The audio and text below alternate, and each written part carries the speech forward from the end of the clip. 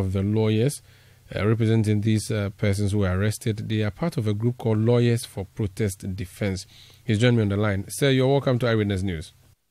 Thank you. Thank you very much for having me. So, our, our reporter just explained to us that the hearings were in two separate courts. Um, I don't know how you uh, made your own arrangements. Uh, do you have one lawyer uh, representing one group in one courtroom? What was the arrangement today like? And talk to me generally about the the conduct of the of the prosecution and also the the, the issues that came up in court.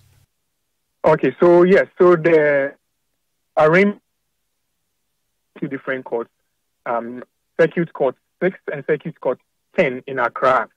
And um, as you mentioned, the Lawyers for Protest Defense, we are a group that have decided to dedicate our time to provide legal services to persons who may be for protest. So we have a number of available. So we were spread across different courts today. So we had about six of us in court six and somewhere around the same number in court five. So while the cases uh, were ongoing, we were in the different representing the arrested persons. So in court six, which is the court that I was in, the arrested persons were brought in three batches. So um, there was a first batch of about nine persons then a second batch also of uh, around nine persons, and I think somewhere around six for the last the last batch of, of persons. So, um, Attorney General represents the someone from the Attorney General's department, the state attorney representing the state, um, brought the charges against the accused person. So the charges were read to them, and all of them pleaded not guilty. And so um, we, we went ahead to move an oral motion for the grant of bail. But for all of the three persons that were brought, the three batches uh, at court six, the applications were denied by the judge. And the same happened in the three other cases that were before the court at court 10. So the court adjourned for the next date to be on 8th October 2024. So that is uh, mainly transpired in court today. I see. Uh, granting of bail is a discretion that is exercised by the judge, but it would also be dependent on how convincing you, the counsel, would be and the evidence and arguments you would put forth to explain why your clients deserve to go home to their families. Is it the case that you could not prove that they may not be a flight risk and they may not go and interfere with police investigations and all the other issues that would come up in the consideration for whether or not bail be granted?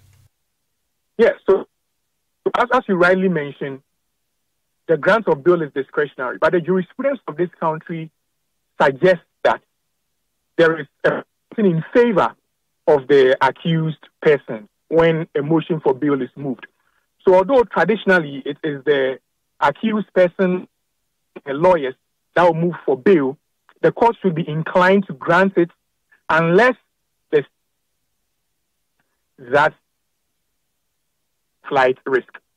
So today we're able to present to the court first on human rights violations where these people have been denied access to their lawyers, access to their families, um, access to food and water, and most of them have been subjected to inhumane treatment, including beatings with marks on their bodies.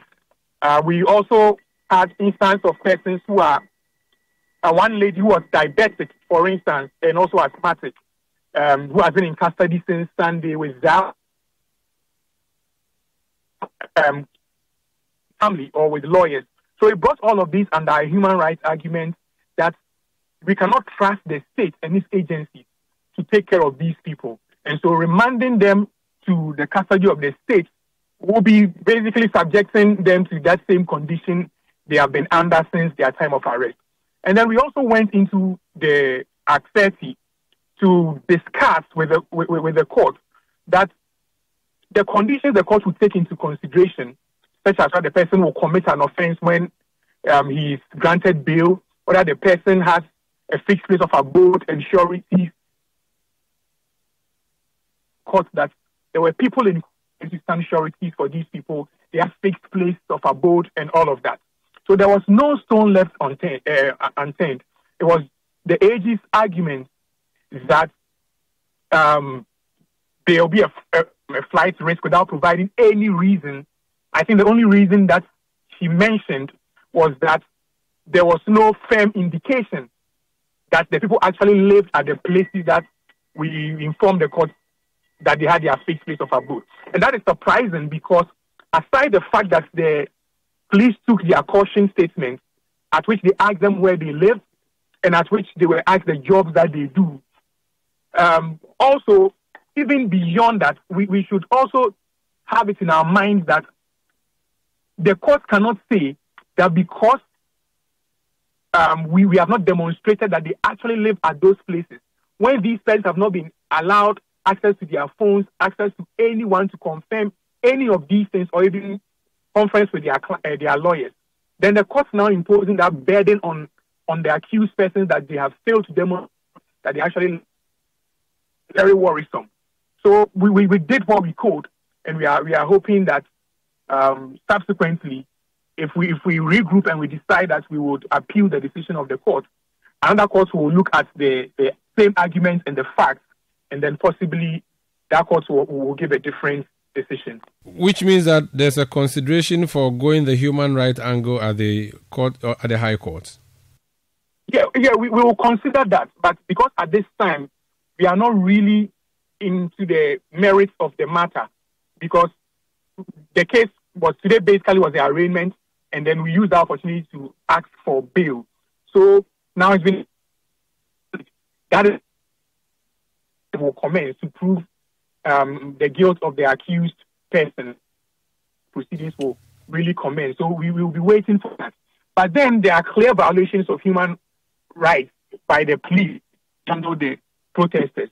So definitely, we are considering filing a separate case against the state and then the IGP on the uh, on the abuses of the rights of these persons who are arrested.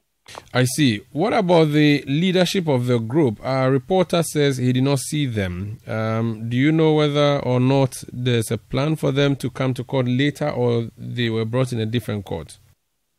Yeah, so I think the lead, the leadership of Democracy Hub um, and then the Fix the Country group, I think most of them were brought today. It was just Oliver Barker-Vormawor who was not presented to the court today, who was not arraigned. And our indication is that, you know, Oliver turned himself in just yesterday, and the police have 48 hours within which to present him to court. We are of the opinion that they are trying to just um, keep him within the 48 hours. So instead of bringing him, I would rather want to bring him tomorrow so that at least he would have stayed um, beyond today and then um, be brought tomorrow. So it will be within the 48 hours, but that is more inconvenience to him. So I, I, I believe that is what the state is trying to do. So he wasn't brought today. I understand.